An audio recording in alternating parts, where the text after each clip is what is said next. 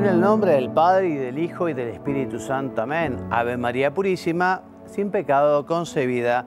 Queridos amigos de la tele, nuevamente juntos con nuestros temas de fe católica, ya hoy con la segunda parte de la oración del Padre Nuestro, de este último tema 36 que hemos seguido, que hemos estudiado, aprovechando el texto síntesis de la fe católica que se encuentra en la página web, en el sitio web del Opus Dei.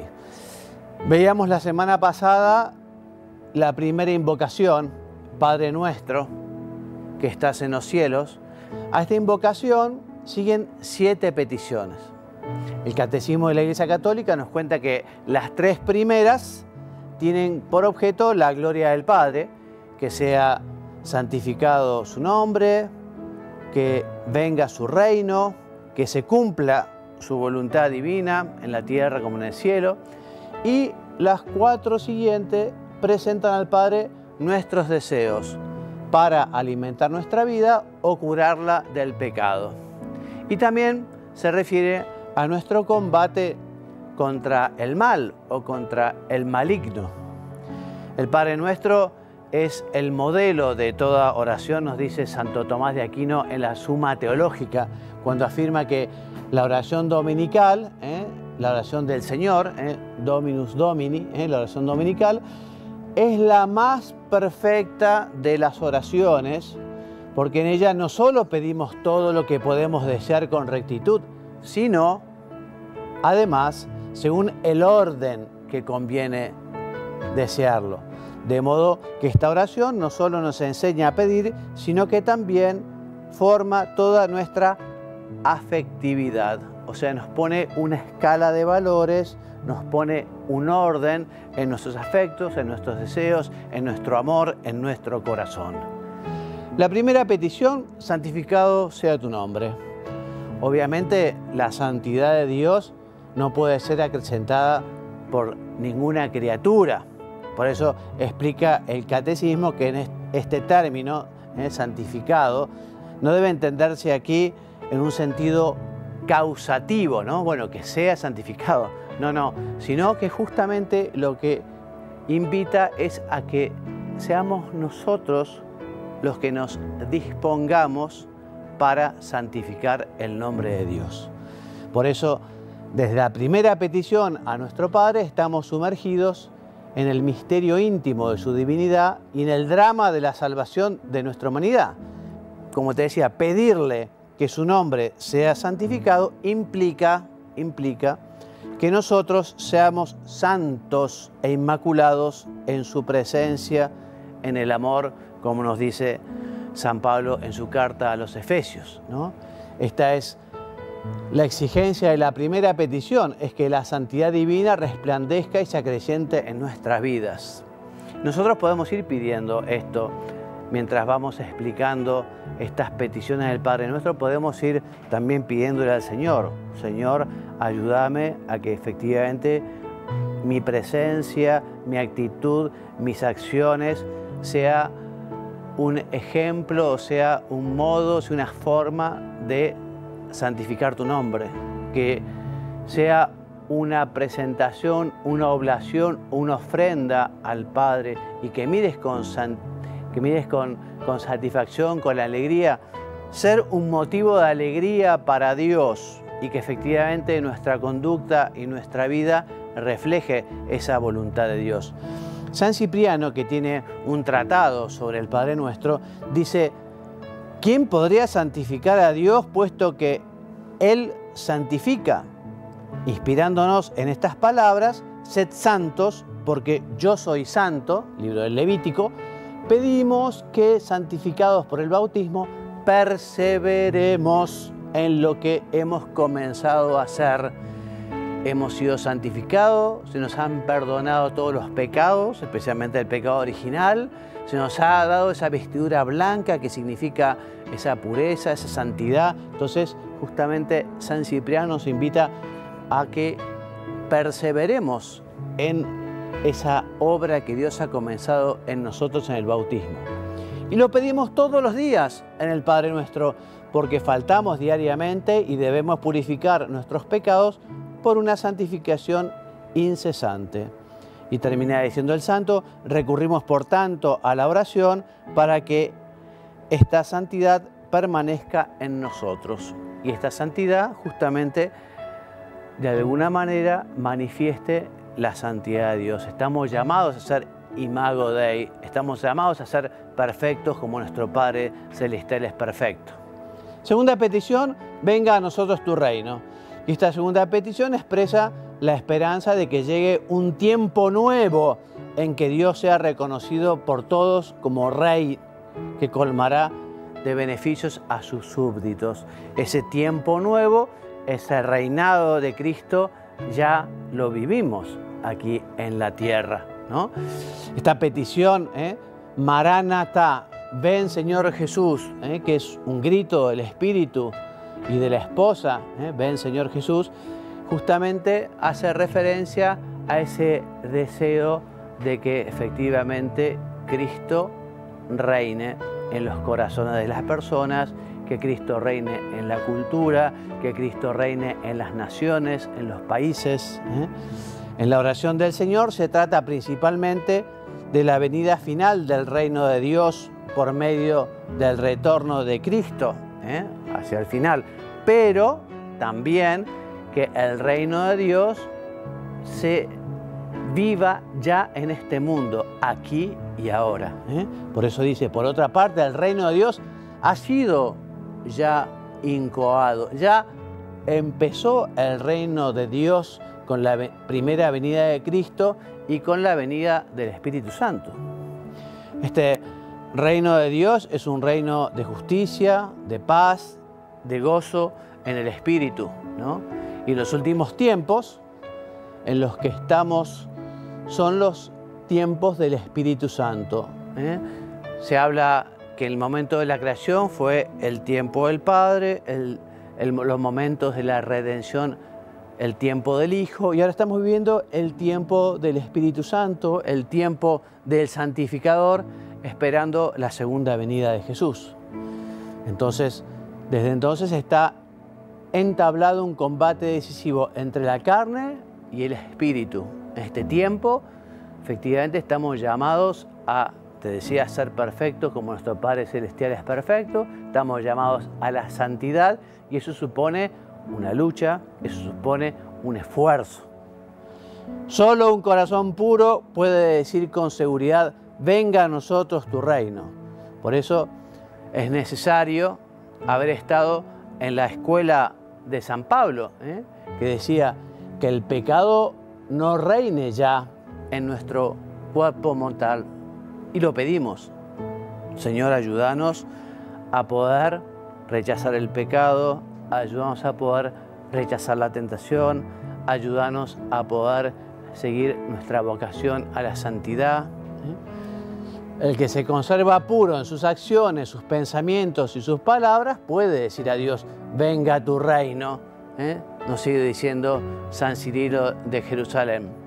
En definitiva, en la segunda petición del Padre Nuestro manifestamos el deseo de que Dios reine actualmente, ¿eh? aquí y ahora, en nosotros, y que efectivamente actúe en todos y cada uno de los hombres, hasta, hasta su llegada definitiva. Tercera petición, hágase tu voluntad en la tierra como en el cielo. Bueno, la voluntad de Dios la conocemos, nos lo escribió San Pablo en su carta a Timoteo, ¿eh? que todos los hombres se saben y lleguen al conocimiento de la verdad. ¿no? O sea, Jesús nos enseña que se entra en el reino de los cielos no mediante palabras, sino haciendo la voluntad de mi Padre que está en el cielo. ¿eh? O sea, no se entra en el reino del cielo que diga Señor, Señor, sino quien cumpla mi voluntad, nos dice Jesús. Por ello, pedimos a nuestro Padre que nuestra voluntad esté unida a la de Jesucristo, que procuró cumplir y cumplió siempre la voluntad del Padre, que quiso justamente realizar ese plan de salvación que tenía Dios para los hombres. Nosotros somos radicalmente impotentes, solos no podemos alcanzar esa santidad. Por eso, unidos a Jesús y con el poder del Espíritu Santo, podemos poner en sus manos nuestra voluntad y decidir acoger lo que su Hijo siempre ha escogido, hacer lo que le agrada al Padre. Y le seguimos pidiendo en esta oración y esta petición, Señor, hágase tu voluntad en la tierra como en el cielo. Señor, que yo sepa hacer tu voluntad. Señor, que todos los hombres sepan hacer tu voluntad. Que efectivamente este reino tuyo ya se instaure en la tierra porque tus hijos, los hombres, somos fieles a tu deseo, a tu voluntad, a tus mandamientos. Cuando rogamos en el Padre nuestro, hágase tu voluntad en la tierra como en el cielo, no lo pedimos en el sentido de que Dios haga lo que quiera, sino de que nosotros seamos capaces de hacer lo que Dios quiere, sigue diciendo San Cipriano. Por otro lado, la expresión en la tierra como en el cielo hace referencia justamente a todo el mundo y que ya se cumple aquí en la tierra lo que ya se ha cumplido en el cielo, ¿eh? donde están los ángeles, que ellos ya se han decidido para siempre por el bien, que son los ángeles buenos, y los que han rechazado a Dios y los que han se opuesto a Él, encabezados por Satanás. Cuarta petición, danos hoy nuestro pan de cada día. Esta petición expresa el abandono filial de los hijos de Dios, pues el Padre que nos da la vida no puede dejar de darnos el alimento necesario para ella, todos los bienes convenientes materiales y espirituales. Y aquí es bueno hacer el acto de fe, porque nosotros decimos, danos hoy el pan de cada día. No estamos pidiendo el pan para mañana, pasado mañana, toda la semana, todo el mes, todo el año, toda la vida. ¿no? Estamos pidiendo el pan de cada día, porque en este sentido el hombre está llamado a entregarse con confianza a Dios para vivir al día, al presente. Obviamente no quiere decir que en la vida hay que dedicarse a improvisar y que no haya que prever nada. Lo que me refiero es que el hombre tiene que vivir el santo abandono, diciendo, bueno, voy a vivir el día de hoy, haciendo todo lo mejor posible, poniendo todos los medios humanos y todos los medios sobrenaturales. Y mañana Dios dirá, porque yo estoy en sus manos y porque confío en Él. Por eso el sentido cristiano de esta cuarta petición se refiere al pan de la vida. Se refiere tanto a la palabra de Dios que se tiene que acoger en la fe y también se refiere al cuerpo de Cristo, a la Eucaristía que recibimos. Danos hoy el pan de cada día. Danos el alimento del cuerpo, pero danos sobre todo y especialmente el alimento del alma, que es mucho más importante. Bueno, la expresión de cada día, te decía, está tomada en el sentido temporal y es una repetición del hoy del libro del Éxodo para confirmarnos en una confianza sin reserva. Y tomada en un sentido cualitativo significa lo necesario a la vida y más ampliamente a cualquier bien suficiente para la subsistencia.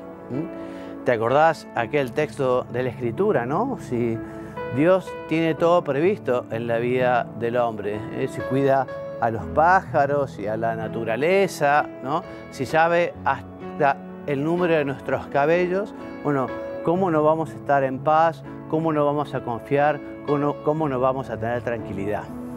Bueno, y antes de comentar la quinta petición, Vamos a ver eh, el último comentario que hace el Papa Francisco sobre el Padre Nuestro, ¿eh? porque el Papa Francisco lo comentó en 16 audiencias. Vamos a ver hoy la última.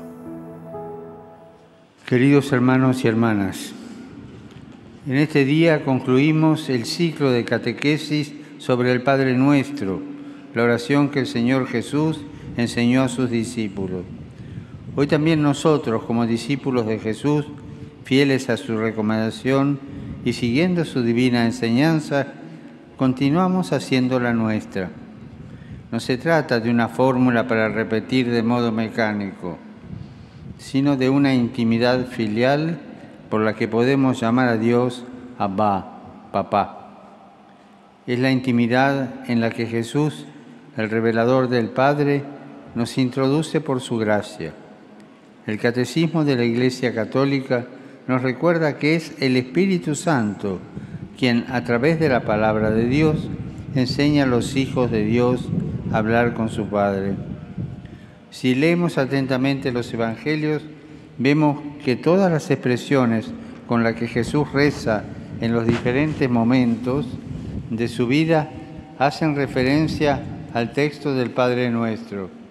Constatamos además cómo Jesús invita a sus discípulos a cultivar un espíritu de oración, a orar insistentemente y a tener siempre presentes a los hermanos y a sus necesidades. El Nuevo Testamento nos revela que el primer protagonista de toda oración cristiana es el Espíritu Santo, que hemos recibido en nuestro bautismo y que nos hace capaces de orar como lo que somos, es decir, hijos de Dios, siguiendo el ejemplo del Señor Jesús. Este es el misterio de la oración cristiana, que nos introduce en el diálogo amoroso de la Santísima Trinidad. Saludo cordialmente a los peregrinos de lengua española venidos de España y Latinoamérica.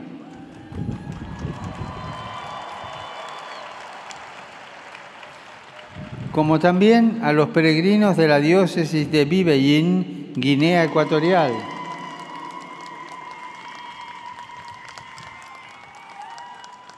acompañados por su obispo. A todos los animo a que pidan al Señor la gracia de ser hombres y mujeres de oración y que recuerden ante el Padre a todos nuestros hermanos y hermanas, especialmente a los más necesitados y abandonados, para que a ninguno falte consolación y amor. Que Dios los bendiga.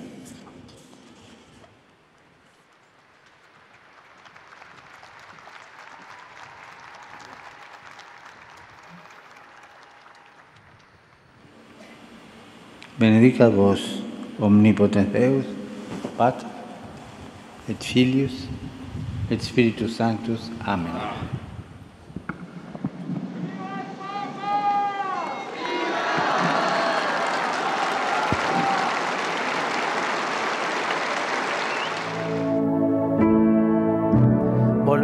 Después de haber recibido la bendición del Papa y ahora con la quinta petición del Padre Nuestro perdona nuestras ofensas, como también nosotros perdonamos a los que nos ofenden. ¿no?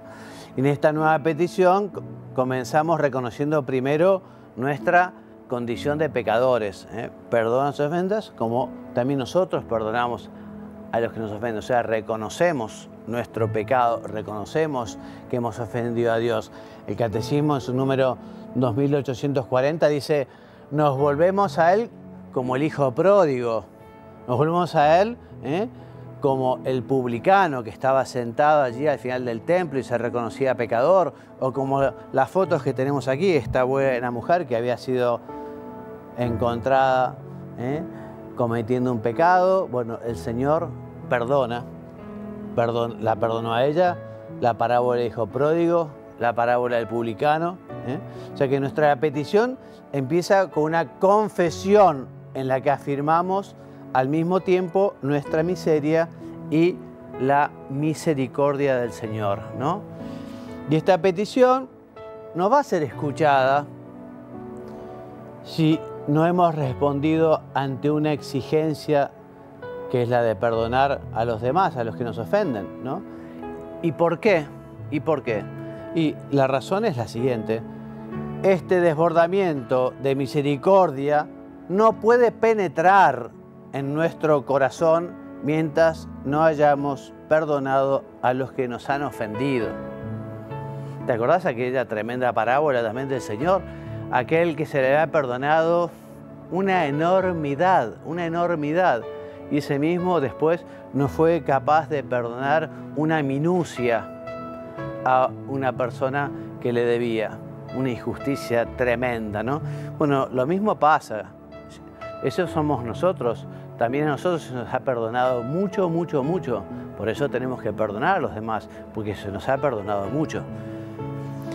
El amor con mayúscula, que es Dios, ¿eh? como el cuerpo de Cristo, es indivisible y no podemos amar a Dios a quien no vemos, si no amamos al hermano y a la hermana a quienes vemos, nos dice San Juan en su primera carta. Porque entonces al negarse a perdonar a nuestros hermanos y hermanas, el corazón se cierra su dureza le hace impermeable al amor misericordioso del Padre. Somos nosotros los que impedimos el perdón porque no abrimos nuestro corazón, porque lo tenemos justamente cerrados para el perdón de los demás. Sexta petición, no nos dejes caer en la tentación. ¿eh? Esta petición está relacionada con la anterior porque el pecado es consecuencia del libre consentimiento a la tentación. La tentación, te acordás, no es ni buena ni mala. La tentación, Cristo mismo fue tentado. Lo importante es la decisión que uno toma ante la tentación. ¿eh? Porque uno puede decir caer en la tentación o puede, como Jesús, rechazar la tentación. ¿eh? Por eso, ahora pedimos a nuestro Padre que no nos deje caer en la tentación. Le pedimos que no nos deje tomar el camino que conduce al pecado, pues estamos empeñados en el combate entre la carne y el espíritu. Esta petición implora el espíritu de discernimiento y la fuerza. O sea, Dios siempre da la gracia, Dios siempre ayuda, Dios siempre está, ¿no? Y como dice la carta de los Corintios, 1 Corintios 10, ¿no?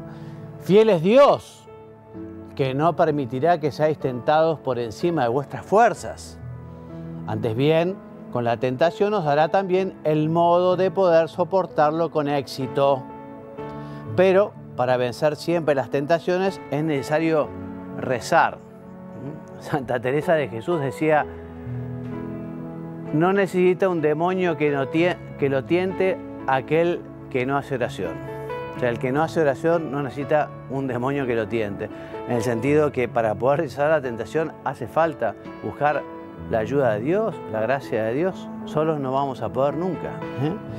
Este combate y esta victoria solo son posibles con la oración. ¿eh? Y por medio de su oración Jesús, lo veíamos ¿no? en el desierto, es vencedor del tentador. ¿eh?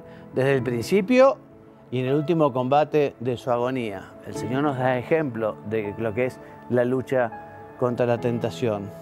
Y en esta petición a nuestro Padre, Cristo nos une a su combate y a su agonía. Yo lo que te recomiendo en la tentación es acudir a la Santísima Virgen, la Santísima Virgen, ¿no?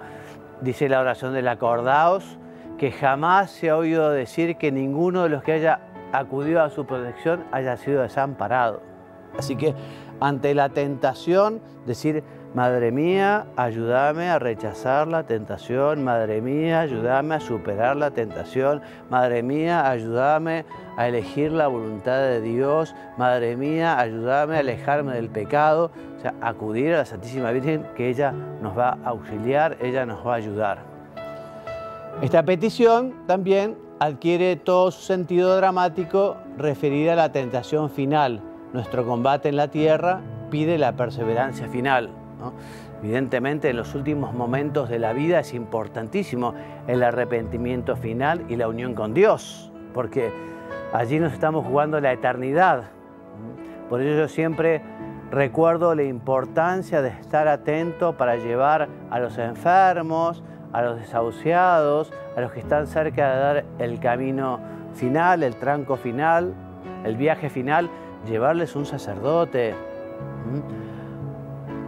Dios puede perdonar a una persona y perdona ello si se arrepiente sin un sacerdote, pero llevar un sacerdote a la persona que está ya en sus últimos momentos es algo que le va a dar mucha paz en el alma y mucha seguridad, porque efectivamente en la confesión en nombre de Cristo, el sacerdote dice, yo te absolvo de tus pecados, en nombre del Padre y del Hijo y del Espíritu Santo, amén.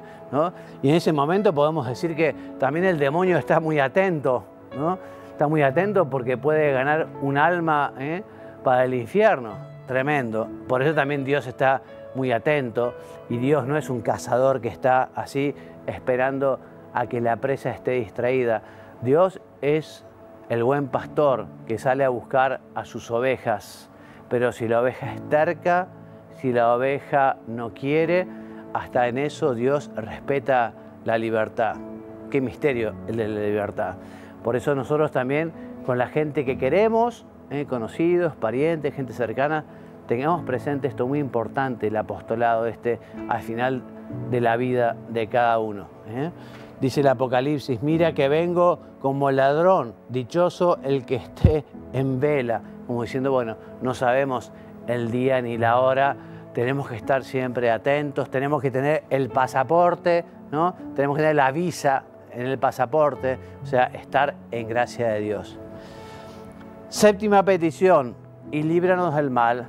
Es la última petición, está contenida en la oración sacerdotal de Jesús al, Padre, que recoge San Juan cuando dice, no te pido que los saques del mundo, sino que los guardes del maligno, que los guardes del maligno. ¿eh?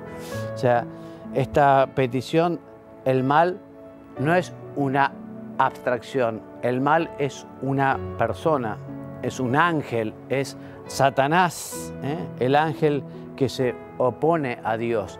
Líbranos del maligno el maligno está presente. A veces la gente también me dice, bueno, es que me tentó el demonio. Sí, puede ser muchas veces que el demonio aún no lo tiente, pero a veces es la propia tibieza, la propia dejadez, cuando hay falta de lucha, cuando no hay empeño, cuando no hay oración, entonces uno cae fácilmente o sucumbe en la tentación y en el pecado. El diablo, sabemos, ese, ese ángel que se atraviesa en el designio de Dios y su obra de salvación cumplida en Cristo. El diablo justamente lo que quiere es separar a las personas de Dios, separar a las personas entre sí. El diablo siembra el odio, siembra la división. Entonces al pedir que, se, que seamos liberados del maligno, oramos igualmente para ser liberados de todos los males, los males presentes, los males pasados, los males futuros, de los que el maligno es autor o instigador. Y a eso nos referimos cuando hablamos del pecado, el pecado, que es el único verdadero mal, porque justamente causa la eterna condenación. Los otros males, ¿no? la enfermedad, las tribulaciones, bueno, pueden llegar a, convertirse en bienes si nosotros los aceptamos como la cruz, si nosotros vemos en ellas un modo de purificarnos, si los llevamos con rectitud de intención, con amor a Dios, ¿no? O sea que cuando lleguen esos padecimientos podemos pensar que estamos junto al Señor llevando la cruz. Bueno, y así terminamos entonces el comentario sobre estas siete peticiones del Padre Nuestro. Terminamos nuestro ciclo de 36 temas de la fe católica. La bibliografía de hoy, como siempre, el Catecismo de la Iglesia Católica, número 2759 a 2865. También tienen como bibliografía o lectura recomendada lo que les contaba, la catequesis del Papa Francisco, ¿eh? que trata el Padre Nuestro durante las audiencias generales de los miércoles entre diciembre de 2018 y mayo de 2019. Y también como lecturas recomendadas del Papa Benedicto XVI. Jesús de Nazaret, ¿eh? La editorial Esfera de los Libros en Madrid, el capítulo dedicado a la oración del Señor y las homilías de San José María, el trato con Dios y hacia la santidad de su libro Amigos de Dios.